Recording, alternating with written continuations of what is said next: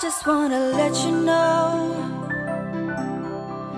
that I care បន្ទាប់ពីចេញអាល់ប៊ុមចម្រៀងពពកដែលមានការគ្រប់គ្រងពីសំណាក់យុវវ័យរួចមកថ្មីថ្មីនេះនីគីនីគីបានបញ្ចេញនៅបទចម្រៀងថ្មីរបស់ខ្លួនដែលមានចំណងជើងថា Cross the Line ដែលជាបទចម្រៀងបែបមនោសញ្ចេតនានិយាយរៀបរាប់ពីនារីម្នាក់ដែលកំពុងតែរំជើបរំជួលនឹងការកើតរឿងប្រេះផ្ដាស់ បទនេះបង្ហាញពីអារម្មណ៍ស្រឡាញ់មនុស្សម្នាក់ដោយមិនគិតច្រើនគឺមើលតែរូបរាងខាងក្រៅមិនប្រើបេះដូងគឺគ្រាន់តែឃើញស្អាតស្រឡាញ់ភ្លាម ជាក់ស្ដែងបទចម្រៀងនេះទើបតែបញ្ចេញកាពិតមែនតែចំនួនអ្នកទស្សនារហូតដល់ទៅ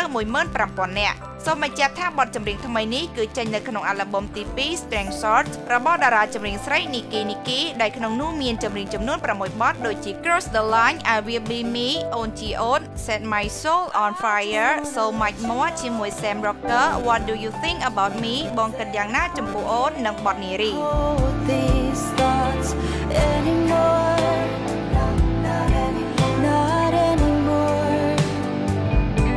I